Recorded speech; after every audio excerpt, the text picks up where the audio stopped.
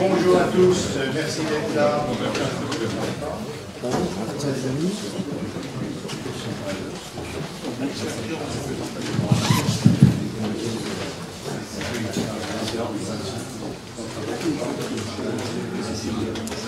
Donc pour cette séance consacrée à la nouvelle anatomie, anatomie innovante, anatomie formidable, euh, nous allons commencer par euh, une présentation de Jean-Marie Lemire de Strasbourg sur les liens entre anatomie et chirurgie, un double 500e anniversaire à Strasbourg, 1507-2017. Monsieur... Monsieur le Président, Messieurs les chers maîtres, euh, chers collègues, c'est un honneur bien sûr d'être euh, ici et de pouvoir inaugurer cette belle séance euh, sur euh, les liens entre anatomie et chirurgie organisée par euh, le docteur Hull, dont j'apprécie les travaux depuis très longtemps. Donc, ce n'est pas vraiment une communication, c'est une évocation d'une commémoration d'un double 500e anniversaire à Strasbourg. Je vous invite pour cela à traverser la chaîne des Vosges et à passer le long des rives du Rhin. Euh, en effet, Strasbourg est une ville d'Alsace qui est située sur le Rhin, qui était beaucoup plus large euh, anciennement et qui ne marquait pas une frontière, puisque très longtemps, euh, la frontière commençait avec les Vosges, et c'est ce que nous allons voir avec le contexte historique dans un instant. Nous voici à Strasbourg, complètement à l'est du pays, mais aussi à l'est des Vosges, et c'est l'ouest de l'Empire allemand. Dans, tout d'abord, le contexte strasbourgeois, dans cette fin du XVe et début du XVIe siècle, Strasbourg, en allemand Strasbourg, puisque la langue utilisée est, bien l'allemand, en latin Argentoratum Argentina, on le retrouvera sur certaines vues. Strasbourg est à l'époque, depuis euh, presque le Xe siècle, une ville libre d'empire. D'abord sous l'emprise de l'évêque de la ville jusque vers 1250, et ensuite ville libre d'empire relevant donc directement de l'empereur. Et euh, cet empereur, c'est bien sûr l'empereur du Saint-Empire romain germanique. Et depuis 1452, c'est la maison de Habsbourg qui règne. Il y a eu, pour la fin du 15e, Frédéric III, et puis dans la période juste là qui va nous intéresser de 1517, c'est Maximilien Ier, et enfin, euh, juste après, en 1519, Charles V, dit Charles Quint, qui aura un long règne euh, de euh, presque 40 ans.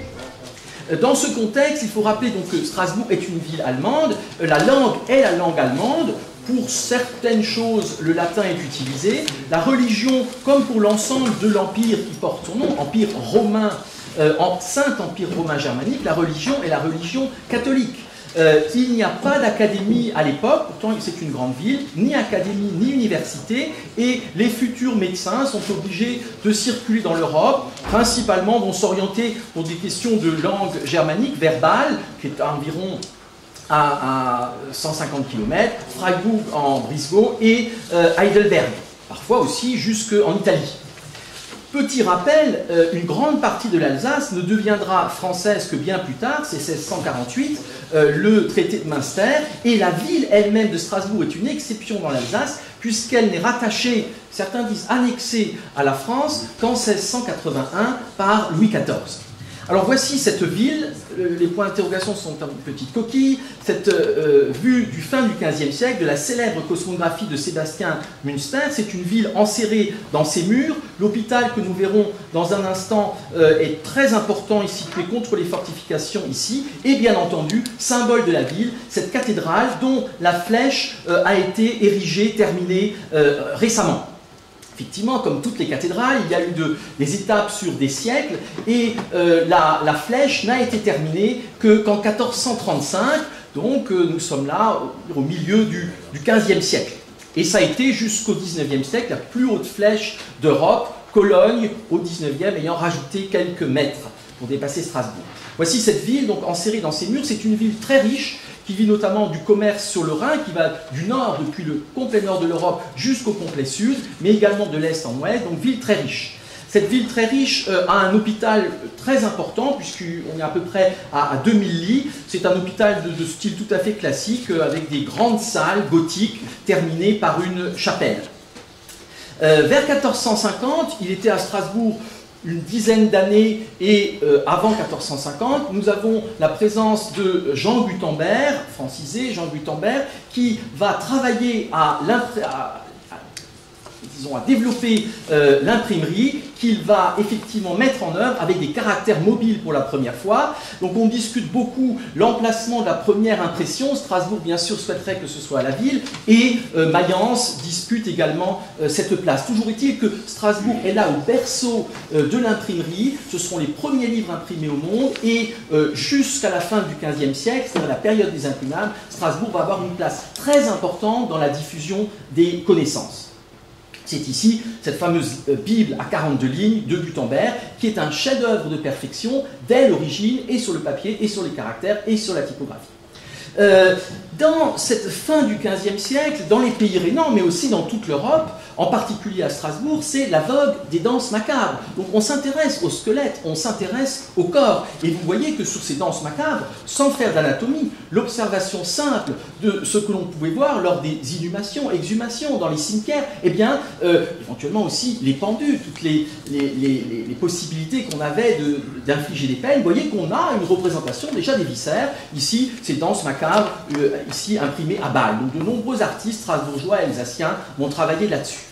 Alors, fin 15e, l'impression, et Strasbourg va publier le premier livre, euh, euh, de chirurgie en allemand, euh, d'ici Strasbourg der Chirurgia de Hieronymus, Hieronymus Brunswick. Nous sommes donc là 20 ans avant cette dissection, et on a déjà, voyez, une représentation toujours à peu près similaire de ce corps avec les viscères. Cet ouvrage de Brunswick est une splendeur au point de vue illustration. C'est un format quasiment in-folio, donc un très grand format, avec des gravures gravées sur bois euh, et des scènes qui finalement sont presque intemporelles. Vous voyez ici le maître et ses élèves, et vous voyez ici eh bien, euh, le corps médical réuni au chevet du patient. C'est bien un livre de chirurgie. Mais dans ce livre de chirurgie, il y a aussi euh, un des premiers chapitres euh, imprimés euh, d'anatomie. Et on voit ici von der Anatomie, donc ce sont des caractères gothiques, Alsois, Ich, Hieronymus, Brunswick, Wundarzt der Stadt Strasbourg, donc, je passe, excusez-moi, donc chirurgien de Strasbourg, qui écrit ce livre d'anatomie, principalement inspiré par Mondino et des sources plus anciennes. Et surtout dans ce livre de Brunswick, 1497, Strasbourg, la première planche d'anatomie imprimée au monde, c'est ce squelette euh, dans le livre de, Hieronymus Brunswick. Donc, vous voyez que dès 1497, un chirurgien publie la première planche d'anatomie publiée au monde. Certes, c'est très grossier. Certes, si vous regardez, le pelvis est à l'envers. Certes, il y a toute une série de détails qui ne vont pas. Mais malgré tout, ça montre une volonté.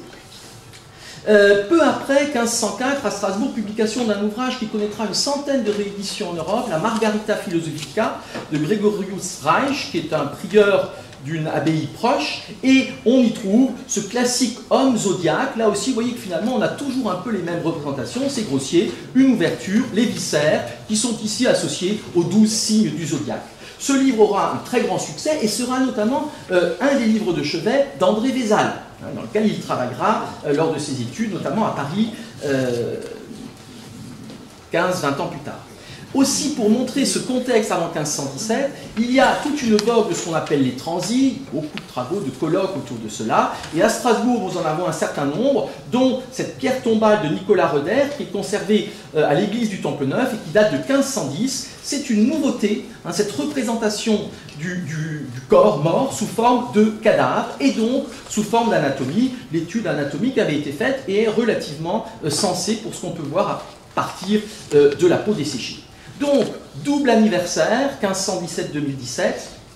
Le premier de ces anniversaires, c'est la première dissection humaine publique officielle à Strasbourg. Enfin, ne veut pas dire qu'il n'y en ait pas eu avant des dissimulés, qui peut-être eu des préparatifs euh, euh, un petit peu secrets auparavant. En tout cas, celle-là est officielle. Elle est organisée par le magistrat de la ville de Strasbourg. On fait euh, venir un médecin diplômé de Bologne, qui d'ailleurs séjournera ensuite quelques années à Strasbourg, et qui va diriger cette dissection. Comme ça se fait, ce n'est pas lui qui va disséquer, il a un, un, prosecteur qui, sous ses consignes, va disséquer. Et euh, chose très intéressante aussi, un élève de Holbein, le vieux, artiste célèbre euh, rénan, euh, Hans Wechtlin, va faire des dessins et va en graver un bois qui va être imprimé sous forme de feuilles volantes. Donc les feuilles volantes, ce sont des espèces de pages uniques, souvent de grand format, qui sont considérées comme les ancêtres des journaux où l'on relatait des faits extraordinaires, le passage d'une comète, une naissance dite monstrueuse, et ici, eh bien, cette nouveauté, cette dissection. Cette feuille volante pouvait être vendue par les colporteurs soit à des particuliers, mais aussi pour des échoppes de barbiers. Nous voyons cette figure gravée sur bois qui est de grand format, euh, qui certes peut paraître relativement grossière, mais qui est la première planche au monde publiée dessinée d'après nature. C'est la première fois qu'on représente une dissection d'après nature. D'ailleurs, on voit euh, un certain réalisme avec euh, l'expression du visage, avec ici le drap, le linge qui cache la région pubienne, avec l'attitude contractée des, mains et des muscles de l'avant-bras. Mais, euh, autre particularité, autour, vous pouvez remarquer eh bien, euh, cette petite figure. Il y en a une qui représente la langue, sans doute parce qu'elle est cachée normalement dans la cavité buccale et qu'il a paru intéressant de la montrer. Mais surtout, vous avez autour six autres figures qui représentent les étapes successives de la dissection de l'encéphale, depuis la dure mère jusqu'ici la faux du cerveau, puis on soulève pour tomber sur le chiasma et sur la tente du cervelet. Ici, on passe sous le chiasma, ici, on est sur euh, la partie euh, du foramen de la tente, et ici, la tente du cervelet avec la cavité vidée. C'est la première représentation au monde de la dissection euh, du crâne et de l'encéphale. Deuxième anniversaire, double anniversaire, 1517, parution à Strasbourg de l'ouvrage de chirurgie de Hans von Gersdorf.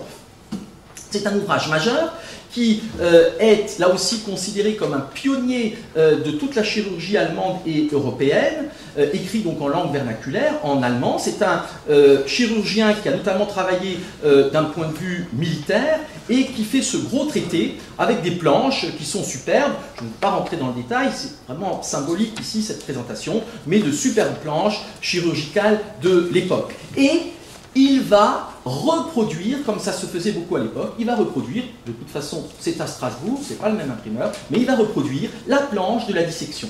Donc dans son livre de chirurgie, il comprend tout de suite l'intérêt, donc c'est la même planche, de cette dissection qui a été réalisée quelques mois auparavant.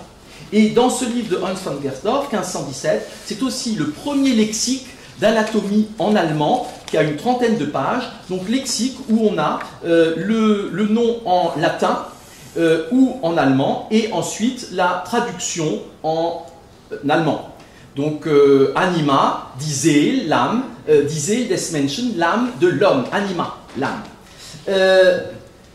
pour marquer cela, nous avons une série d'événements à Strasbourg. Il y a eu la parution récente d'un numéro spécial d'un magazine régional qui a un gros tirage, puisque est vendu à 30 000 exemplaires, euh, qui a été consacré un petit peu autour de, cela, autour de l'histoire de la médecine. La chirurgie y est à l'honneur par plusieurs articles, euh, jusque euh, le riche par notre président Henri Judet. Euh, et euh, donc, première commémoration, il y aura ensuite un petit colloque aussi en octobre avec la Société française d'histoire de la médecine. Petite parenthèse, 1517, nous sommes en train de commémorer aussi à Strasbourg le 500e anniversaire des thèses de Luther. En effet, c'est tout proche. Et Strasbourg a été choisi comme capitale européenne de cette manifestation concernant la réforme. Euh, ce n'est sans doute pas un hasard s'il euh, y a une coïncidence des dates. Et Strasbourg va passer euh, à la réforme quelques années plus tard. Ce qui fait que l'université de Strasbourg, lorsqu'elle sera créée, sera jusqu'à la Révolution une université royale, mais luthérienne, ce qui est extrêmement particulier. Après 1517, eh bien, il y a d'autres livres. Ici, le Walter Riff, c'est aussi un chirurgien strasbourgeois qui publie un livre d'anatomie. On est beaucoup plus proche de Vézal ici, bien entendu. 1566, euh, création d'une académie, on peut délivrer jusqu'à la maîtrise. 1621, université jusqu'au doctorat. 1652, création d'une chaire spécifique pour l'anatomie. 1670, l'amphithéâtre anatomique, 1681, Strasbourg devenant française, et une belle histoire des sciences morphologiques à Strasbourg. Voici ici euh, le siège de l'université avant la Révolution, avec le grand auditorium, euh, où peu de dissections se faisaient, puisque euh, l'amphithéâtre anatomique a été ouvert 50 ans plus tard. quelques petites références, un livre qui a pu être fait pour le 350e anniversaire de la chaire sur l'histoire des sciences morphologiques à Strasbourg du 15e au 20e siècle, et surtout euh, l'ouvrage monumental de mon maître, euh, le professeur Hollander, avec euh, sa fille et camarade de promotion Emmanuel During-Hollander, chirurgien et chirurgie à Strasbourg, qui est une référence tout à fait incontournable et que vous connaissez. Euh, je voudrais terminer avec ce lien. Euh, bien sûr, nous passons maintenant à de la haute technologie et, euh, des choses très impressionnantes souvent, mais je voudrais refaire ce lien qui existe finalement depuis toujours, déjà au XIIIe siècle avec les dissections à Bologne ou, à Montpellier, mais qui existe depuis toujours entre l'anatomie et la chirurgie. Voici cette scène que tout le monde connaît, il y en a toute une série, ces leçons de dissection, celle-là de Rembrandt, et nous sommes là dans quelque chose qui est intemporel et qui reste fondamental. Euh, en effet, cette anatomie va rester nécessaire pour toute une série de techniques chirurgicales, pour l'étude de série, pour la médecine opératoire, et c'est pour cela que, au sein euh, du Collège des professeurs d'anatomie et du CNU, nous avons maintenu euh, une épreuve de dissection, tant pour les MCU que pour les PU, 4 heures de préparation sur un sujet tiré au hasard, quelle que soit votre spécialité, de la tête aux pieds, sans document, et ensuite avec un exposé pédagogique. Et pour montrer aussi ce caractère intemporel par rapport au tableau de Rembrandt, voici ici euh, une partie du CNU où euh, Patrice Lefloc-Prigent, ici présent, a également été longtemps avec moi, puisqu'on y est resté 20 ans membre, et vous pouvez reconnaître le doyen Jean-Michel Rogez de, euh, de, Nantes sur la gauche, ici Jacques Roland, doyen décidément de Nancy, qui a été président de l'ordre, Jean-Paul Franck, qui a été doyen de euh, Lille, tous anatomistes. Et pour terminer, celle-là qui, à mon avis, est le plus beau euh, regard par rapport à ce, reflet à ses premières dissections et à Rembrandt, cette importance chirurgicale de l'anatomie et de l'anatomie chirurgicale. Vous pouvez reconnaître ici euh, Vincent Delmas, qui était le directeur des Saint-Pères, Patrice Lefleur-Frigent au CNU, le doyen Damien, le professeur Legars, ici le doyen Jean-Michel Rogès de Nantes. Je vous remercie pour votre attention.